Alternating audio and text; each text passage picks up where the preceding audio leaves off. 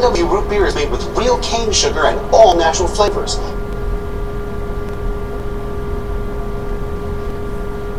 Mm-hmm.